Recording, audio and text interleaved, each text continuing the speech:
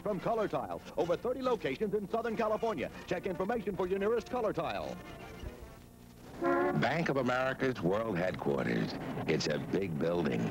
It's a big bank. It's got, oh, 60 billion in assets, more than a thousand offices all over the state. But banks are like people. It's not how big you are or how many assets you have. It's how deep. We interrupt this commercial to bring you some special news that has just broken. A Mr. G. Barry Golson has just given Tom Brokaw some important information. Back to you, Tom. Campbell takes it off the backboards. Thompson by himself, being checked from behind by...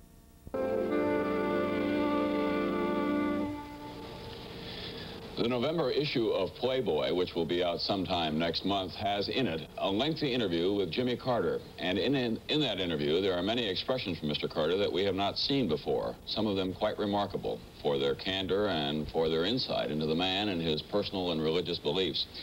The interview was conducted by Robert Scheer, who is a freelance journalist from Berkeley who does Playboy interview interviews that it has in the past with Jerry Brown, the governor of California, and Barry Golson, who is a Playboy magazine editor, the editor of that particular section of the magazine. If they are different in appearance, it works effectively for them. They say as well when they conduct these interviews, you described it as a kind of Mutt and Jeff technique, I guess, the two of you going off to interview someone. Yeah, I said basically. Well, I did uh, followed Carter for about three, four months and asked all the questions I had, and uh, basically, I guess was the aggressive reporter, and Barry came in as the uh, sophisticated diplomat. And uh, actually, it turned out that Barry asked the key question in the interview, uh, and which we'll get to later, but the one that, as we were leaving, going out the door, and so it worked out quite effectively. Altogether, how much time did you spend with him? Over what over what span of time? It was over a three-month period, April, May, June, and it was, came out to about five, six hours, but uh, sometimes it was 10 minutes and sometimes it was an hour and uh, you know, catching him on the plane, catching him at home, so forth. Which became a little harrowing for us because Bob would call me up about every two weeks and say, Barry, I got another 10 minutes. Can you keep me on the trail for a little while longer? And uh, eventually we piled up enough time. Okay, what we're going to do with this interview, because it is hard on television to show you a print interview, we are going to show you some selected quotes from Mr. Carter, and we are going to run those quotes over pictures of Mr. Scheer and Mr. Golson as they met with him the final time at his home in Playboy, in rather in Plains, Georgia. It is not yet Playboy, Georgia. at any rate, here is what Mr. Carter had to say about the question that was raised by Playboy magazine on the appointment of judges. The question was this. Would you appoint judges who would be harsh or lenient toward victimless crimes, offenses such as drug use, adultery, sodomy, and homosexuality? And Carter responded, committing adultery, according to the Bible, which uh, I believe in, is a sin. For us to hate one another, for us to have sexual intercourse outside marriage, for us to engage in homosexual activities, for us to steal, for us to lie, all these are sins. But Jesus teaches us not to judge other people. Continuing, Carter says, but as to appointing judges, that would be, not be the basis on which I would appoint them. I think it would be inappropriate to ask them how they were going to rule on a particular question before I appointed them. The question really is, wouldn't he be more naturally drawn to judges or prospective judges who re reflect his strict views about personal behavior? I don't think so. I think Carter's going to appoint civil libertarian judges. Uh, I I think there is a separation between his uh, church views and not only his state views, but the way he's conducted his life. His kids don't go to church. They lead a pretty free-willing life. Uh, one of his sisters, his brother, uh, they don't go to church, you know. I don't think Carter has imposed uh, these strict religious views on his own family, so I don't think he's going to impose them on the country. What bothers me about Carter is that, yes, I think he'll appoint good civil libertarian judges, but he wants to make us all feel guilty when we fornicate, when we're outside of marriage, you know. And a large number of American people uh, live in what Carter would describe as a state of sin. And it would be nice to have a president for once who didn't make us feel guilty about that, you know. We got to the question, or Playboy got to the question of his own personal moral standards versus his political beliefs, and the question came in this form. Playboy, you say morality can't be legislated, yet you support certain laws because they preserve old moral standards. And how do you reconcile those positions? Carter responded, I believe people should honor civil laws. If there is a conflict between God's law and civil law, we should honor God's law, but we should be willing to accept civil punishment. Does that indicate, do you think, that he'd be much more tolerant of demonstrators and people who opposed his point of view as president than, say, were Richard Nixon or Lyndon Johnson? I think so. Again, I think uh, there is. I don't agree with the fear of Carter as the Baptist, as the uh, conservative Southerner. I think that uh, this is Carter's strong suit, as a matter of fact, and I think that he will probably be one of the more tolerant American presidents.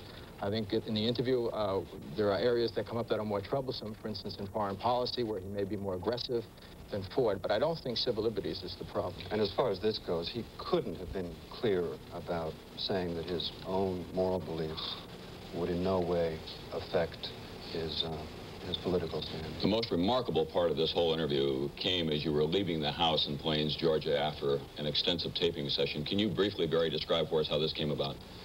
Yeah, Bob uh, and I had uh, picked up our tape recording equipment and were ready to be ushered out the door. In fact, a, a press aide uh, had the door open behind us, and we tossed off a question. We said, uh, the most important question that we've heard is uh, about your religious beliefs and how it would affect your, your political behavior. Do you feel you've reassured people?